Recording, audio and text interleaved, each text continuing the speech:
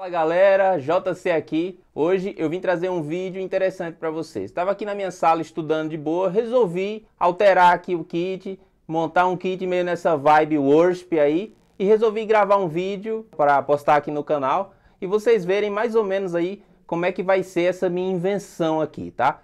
Antes de qualquer coisa, já deixa teu like aqui embaixo, comenta o que foi que você achou desse kit e também compartilha aí com seus amigos. Ativa o sininho que está aqui do lado também para ver se chega para você as notificações do canal. Eu tenho percebido que o YouTube não tem compartilhado as novidades com os inscritos, né? Isso tem deixado muita gente chateado né? Mas eu conto aí com sua participação, que você possa estar entrando toda semana aqui no canal, vendo as atualizações, vendo as novidades, porque tem muita coisa boa para rolar. Nós já somos mais de 50 mil inscritos nesse momento, então não deixe de, de estar ativo aqui no canal, participando e deixando seu comentário, para que a gente possa chegar cada vez mais longe. Deus abençoe.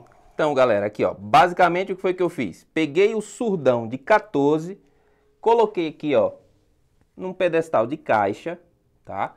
E ali tá o surdo de 16. E aqui tá a GoPro que filmou aqui embaixo do prato, beleza?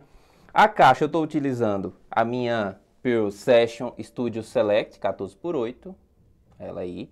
Então ficou basicamente um kit bem grave, salvo o meu bumbo. Aqui, ó, o bumbinho dessa bateria é um bumbo de 20 polegadas, porém ele tem uma sonoridade grandiosa e gigantesca, tá? Então vou dar uma volta aqui para vocês verem como que tá o kit desse lado aqui, ó.